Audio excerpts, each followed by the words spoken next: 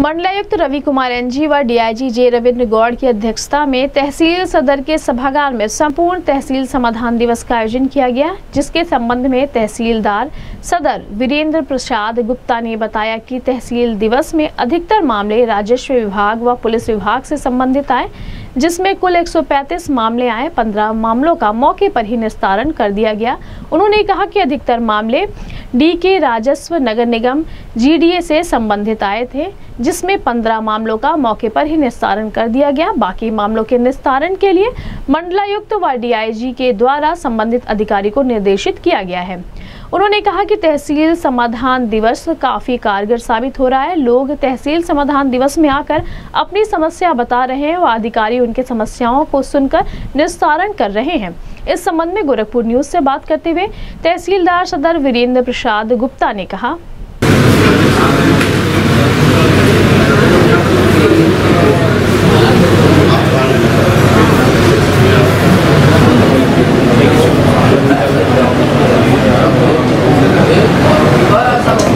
ってない。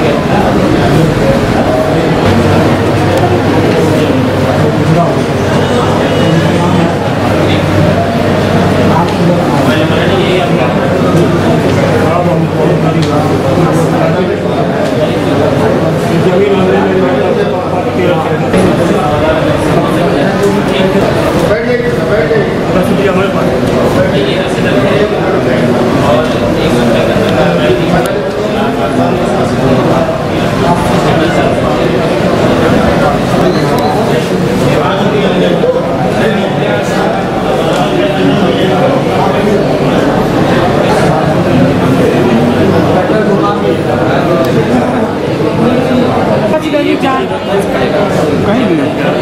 बिजली विभाग बिजली विभाग। हमन के बच गए विद्युत विद्युत। जानवर भी बच गए ना हमन के बच गए ओकरे बाद से हटवाए पर छपिया थोड़ा बार का दो तहसील से छतिया दे दी सर पैसे नहीं पड़ेगा तहसील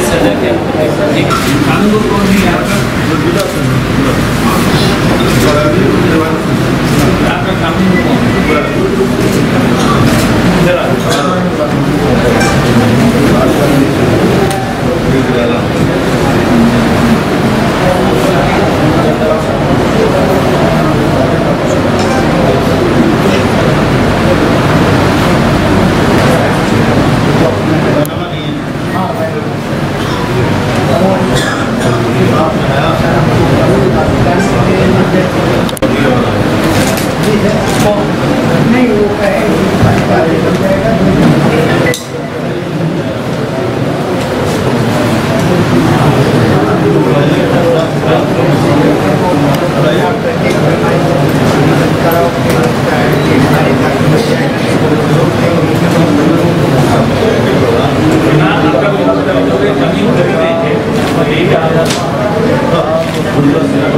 जानकारी नहीं है तो हम यही कह रहे थे जानकारी हमारे सर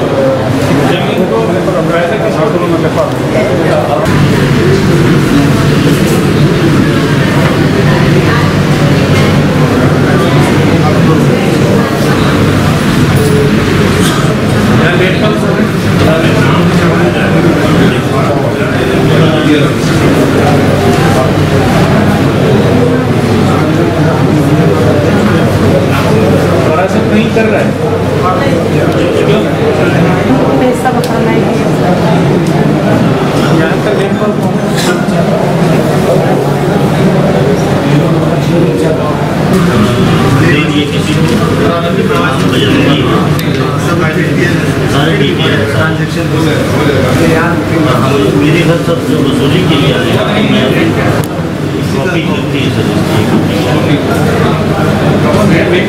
सेम है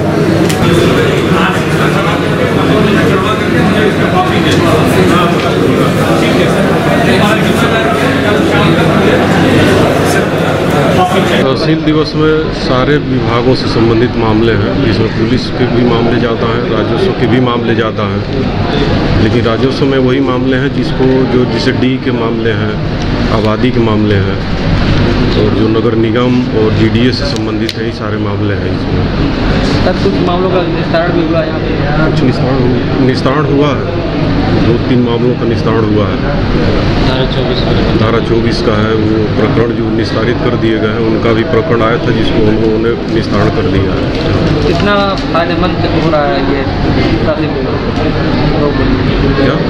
कितना कारगर साबित हो रहा है दिवस के लिए? काफ़ी कारगर साबित हो रहा है क्योंकि हमारे यहाँ जो आप आवेदन है वो कम पड़ रहे हैं। इससे ये हो रहा है कि हमारे द्वारा समस्याओं का निस्तारण सम्यक रूप से किया जा रहा है गुणवत्तापूर्वक किया जा रहा है।